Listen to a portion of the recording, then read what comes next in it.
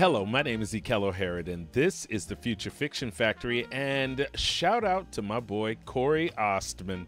He uh, lives over in America with me, and he creates great prompts for AI. And what I did was I took a great prompt of his and took some of my Future Fiction Factory know how and created a dynamic prompt that now takes his prompt that he has and creates anything you can with this prompt. I can't explain to you how excited I am to introduce you to Corey's prompt and to my new framework that I built around his prompt. Here's his prompt. This is easy. You are a science fiction writer when presented with a premise, use the following outline. And then it you it goes through the hero's journey. It goes through every premise, everything that you have to do, encourages the hero to try again. And what I what I did was I took all of this information and I made it framework. Now, this is a great, great, great prompt. This is an, an absolutely fabulous prompt. But what I thought of immediately when I saw it was how is it pos- is it possible to mm, apply this to other outlines so that we can use those other outlines in dynamic ways? Like how do I get most of this information from chapter to chapter?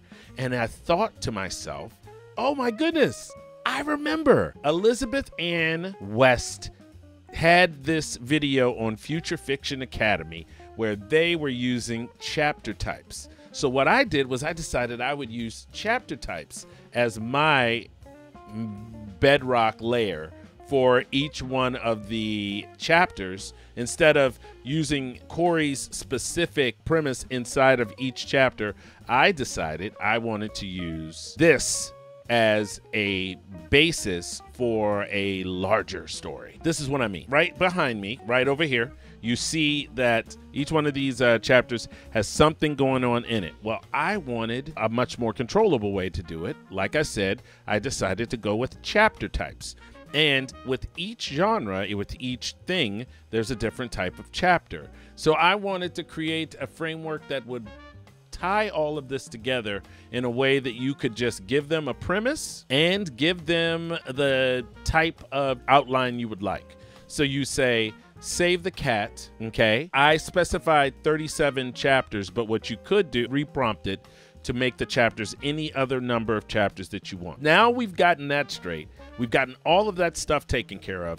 All we have to do is create a prompt that will generate all of these different things. And so what I did was I, in a very convoluted way, here said, now that we've established it, can you generate this outline? I would like to you to treat it as a framework. I want to apply the same example to other types of outlines other than the hero's journey.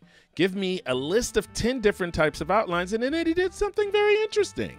It gave me outlines for different types of novels, not necessarily for the hero's journey or Save the Cat or any of those other types of things. It actually just gave me mystery outlines, romantic subplot outlines, political thriller outlines. I was like, can you really do this? So, this is definitely something that we should go back to and look at specifically so that we could see whether or not we can actually make specific outlines to heist films or coming of age or spy thrillers. So we will look back at that. Look at this dystopian, and then I tried to give it, get it to get to save the cat or something like that. It wouldn't do it.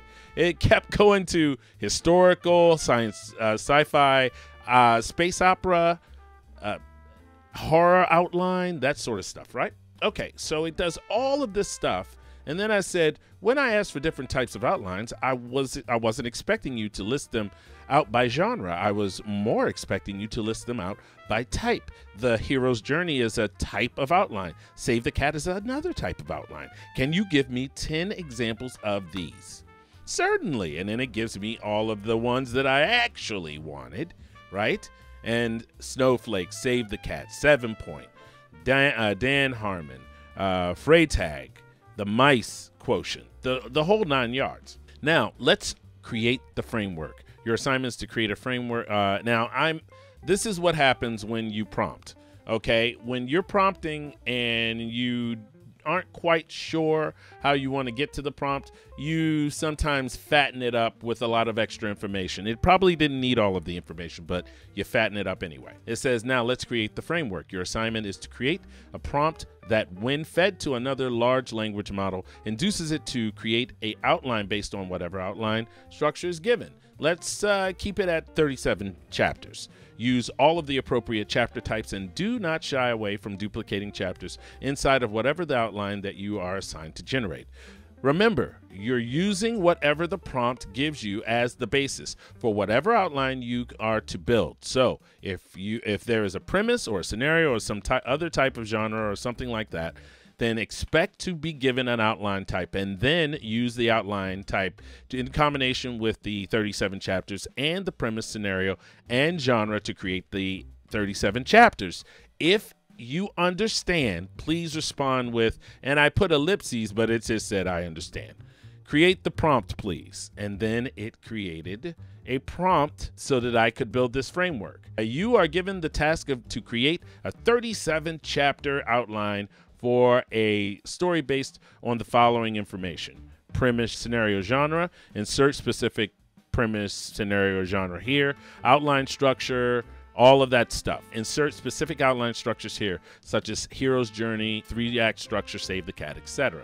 Please use the assigned outline structure to build the 37 chapters and do not hesitate to duplicate chapter types within the outline as needed. Here's what you need to consider Introduction 1 the introduction. How does the story begin? What are your key elements to the set uh, to set the scene? Two, conflict. What are the main challenges, obstacles, or conflicts that the character faces? Resolution. How does the story conclude? What is the final outcome of the characters and the world they inhabit?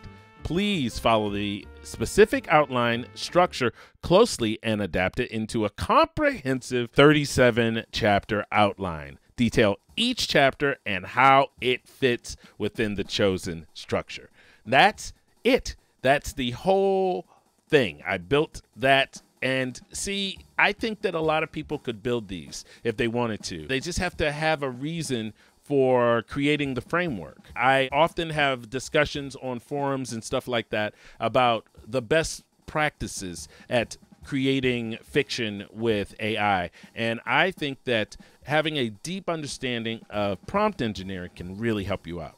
All right, so now that we have this straight, and it says obviously the prompt instructions. What I did was I then went over here and created and and ran the ran it right here, ran it, and there it is. And it says certainly I'll need a specific premise, scenario, or genre along with the outline structure you'd like me to use. These details are crucial to creating the 37 chapter outline that you need. Would you please provide me with these details so that we can move forward? And that, ladies and gentlemen, is that. It's built. Now all I have to do is provide it with a genre or a premise or a scenario and it will literally take that thing and build any outline intricately at any length. All you have to do is change the actual way it's built. You can just copy and paste this and change the number of chapters that you want. If you want 24 chapters, you can have 24 chapters. And I just wanted a way to be able to streamline this so that if people wanted to create very intricate, long sort of outlines, they could. And this way, it creates a chapter type. And now let's let's go with the scenario. What scenario should we go with? So I think that maybe let's go with zombies in Barbie Land. Zombies in Barbie Land. Uh, let's go with Save the Cat. Actually, Hollywood Beats, because we just had Hollywood Beats. And see what it generates. Ah, a thrilling concoction of genres and themes zombies in Barbie Land. Touch of Hollywood glamour, is it? Hollywood beat structure. All right. I'll adapt the to 37 chapters. Here we go. The glamour and the glitz. Introduce Barbie Land, a utopian world where everything sparkles. Introduce your protagonist, a starlet, on the cusp of fame. Ah, the first warning. A strange news report hints at something amiss.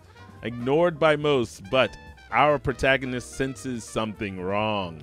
The unveiling. Oh, this is the unraveling. The shimmering dreams of nightmare. Oh my gosh.